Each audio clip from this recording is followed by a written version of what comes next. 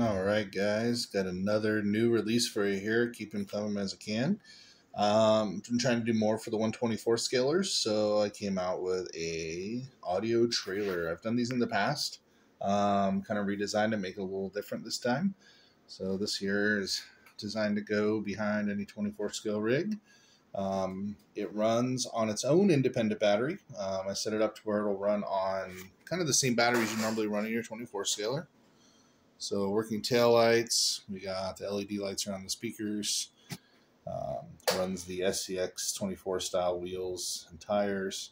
Um, it is designed the back here. This will be a little bigger hatch in the back, but battery hatch is back here.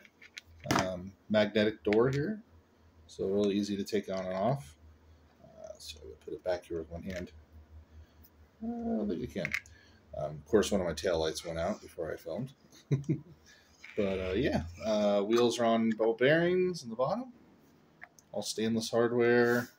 So, of course, the uh, color of the trailer, the box, um, can be printed differently. Um, you know, I can do different colored fenders, different color box. Um, I can change the LED light colors. Uh, we can change the text here if you want to be a different text. So yeah, that's the trailer there. And we'll play a little music for you guys. Hit the play button.